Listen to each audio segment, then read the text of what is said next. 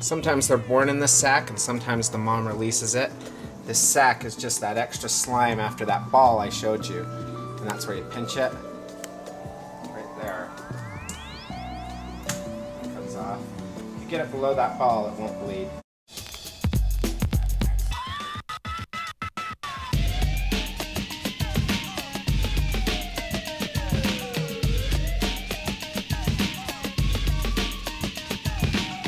Easy as his name and the boys coming. Straight out of Compton. It's a brother you.